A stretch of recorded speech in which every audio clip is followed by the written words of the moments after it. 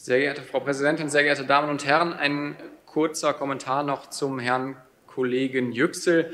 Äh, ich darf mit Erlaubnis der Präsidentin einen Tweet von Ihrem Gesundheitssprachrohr Lauterbach aus dem letzten Jahr, genauer gesagt 4.6.2019 zitieren, der da schreibt, jeder weiß, dass wir in Deutschland mindestens jede dritte, eigentlich jede zweite Klinik schließen sollten. Ich würde sagen, da hat der äh, Kapitän des FC Landtag an der Stelle ein ziemlich böses Eigentor geschossen.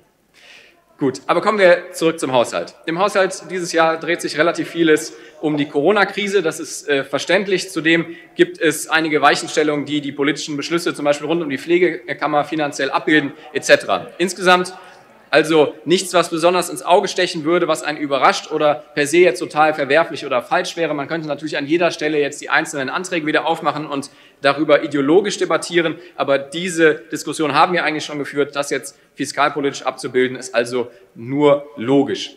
Aber ein weiteres Mal, ein weiteres Jahr wurden die Chancen vertan, sich heute schon auf die Probleme von morgen vorzubereiten. Hier wird die, Gegenteil, äh, die Gegenwart verwaltet, aber mit Sicherheit keine Zukunft gestaltet. Vieles, was in diese Richtung gehen soll, bleibt rein auf dem Level der Kosmetik stehen. Wir werden uns an dieser Stelle dem Gesamtplan enthalten, weil wir durchaus sehen, dass sie einige Dinge bemüht sind anzugehen mit der Landarztquote etc. Aber es bleibt, wie gesagt, auf dem Level der Kosmetik. Es müsste eine viel größere Kraftanstrengung an dieser Stelle geben, denn wenn wir uns ansehen, dass laut Ärzteblatt bereits dieses Jahr 6,4 Prozent der Stellen für Ärzte nicht besetzt werden und sogar 11,3 Prozent der Stellen in der Pflege, dann sehen wir, dass es mehr als Zeit wird, hier entschiedener zu handeln. Ansonsten werden absehbar 2040, so rechnet man hoch, 14,4 Prozent der Arztstellen und 25,4 Prozent der Stellen in der Pflege unbesetzt, äh, unbesetzt bleiben. Das wäre insgesamt auf die Gesundheitsbranche gerechnet dann immerhin 3,3 Millionen unbesetzte Stellen, so das Forschungsinstitut Prognos.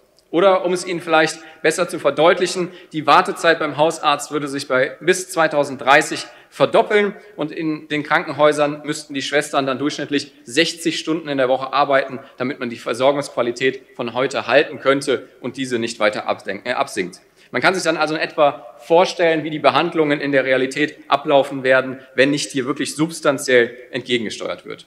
Ebenso weiter nicht abgebildet und keine Rechnung getragen werden die über 500.000 Menschen pro Jahr in Deutschland, die Krankenhausinfektionen erleiden. Bis zu 20.000 von ihnen sterben dabei jährlich, so das Robert Koch Institut. Mehr als jeder vierte Deutsche hat daher mittlerweile laut einer Befragung Angst davor, sich ins Krankenhaus zu begeben. Man muss sich das einmal vorstellen. Das ist eigentlich die Stelle, an die man sich genau begeben sollte, wenn man Hilfe äh, braucht. Aber jeder vierte hat mittlerweile Angst davor. Aber auch hier fehlt jedes Konzept und jede Kraftanstrengung, dem endlich zu begegnen.